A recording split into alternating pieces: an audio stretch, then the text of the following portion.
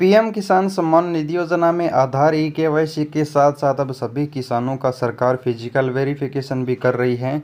यानी अगर आप किसी भी राज्य के रहने वाले किसान हैं तो आपका ई केवाईसी के साथ साथ जो कृषि अधिकारी हैं, कृषि पदाधिकारी हैं, जो आपकी तहसील में बैठते हैं, आपका जो पटवारी है, वो आपका फ़िज़िकल वेरिफिकेशन भी कर रहा है।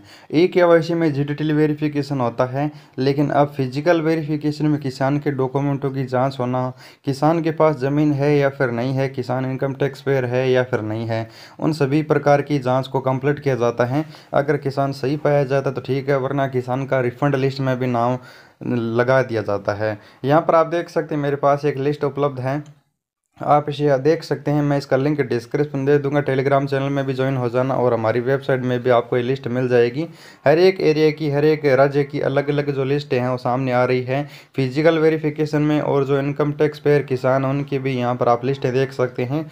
हर एक राज्य की लिस्ट यहाँ पर आपको देखने को मिल जाती है। तो आप इन्हें डाउनलोड कर लीजिएगा।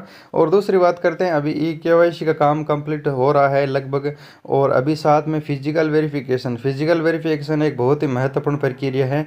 ये हर एक राज्य में, हर एक एरिया की अलग अलग तरह से किया जाता है। जैसा कि यहाँ पर मैं आपको एग्ज़ाम्पल के तौर पर दिखाऊँ तो बिहार राज्य की बात करते हैं। बिहार के आधिकारिक पोर्टल में आने के बाद यहाँ पर आपको नीचे की तरफ़ आना है और यहाँ पर पीएम किसान योजना में जो फ़िज़िकल वेरिफिकेशन यानी भौतिक सत्यापन है, उसके लिए यहाँ पर लिंक लगा रखा है। यहाँ पर आपको एक छोटा सा फॉर्म डाउनलोड करना होगा। फॉर्म डाउनलोड करने के बाद इस तरह से दिखाई देगा, इसे डाउनलोड कर लेना है और उसके बाद इस तरह का इंटरफेस खुलकर आ जाएगा। अब यहाँ पर इसे फॉर्म को आप देखोगे तो यहाँ पर आपको मेन डिटेल डालनी है। यहाँ पर आप देख सकते हैं कृषि विभाग बिहार, प्रधानमंत्री किसान सम्मान निधि योजना। आप जिस भी दिन वेरिफिकेशन करवाने उसकी दिनांक डाल दीजिएगा और यहाँ पर लिखा हुआ लाभावकों के भौतिक सत्यापन हेतु घोषणा पत्र। यानी ये घोषणा पत्र आपको भर के देना होगा। मैं प्रमाणित करता हूँ, करती हूँ कि लाभाओं का नाम, यानी आप जो भी किसान लाभ ले रहा है, उसका नाम लिखना है और किसान पंजीकरण संख्या यहाँ पर डालनी है, जो बिहार के किसानों के लिए होती है।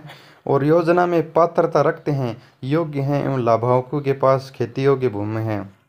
यह वेरिफिकेशन अभी चल रहा है। इसमें आपके ज़मीन के डॉक्यूमेंटों की भी जाँच होती है कि योग्यता है या फिर आप इनकम टैक्स पेयर तो नहीं हैं या फिर आप कोई पेंशन वगैरह तो नहीं लेते हैं, परिवार में एक ही जना लाभ ले रहा है, ये सभी जाँच है जो आपके कृषि सेवन्य अधिकारी हैं, आपके पटवारी और जो आपके तहसील में बैठने वाले अधिकारी हैं, वो जाँच करते हैं और वो छोटा सा फॉर्म आपसे लेते हैं। यानी ये सेल्फ डिक्लेरेशन फॉर्म बोल सकते हैं या फिर आप भौतिक सत्यापन के लिए घोषणा पत्र हैं।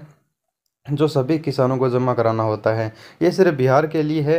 हर एक राज्य में अलग अलग तरह से भौतिक सत्यापन हो रहा है। हो सकता है कि आपको बिना कोई फॉर्म दिए ही भौतिक सत्यापन किया जा रहा हो आपकी तहसील में और आपके डॉक्यूमेंट्स की जाँच चल रही हो।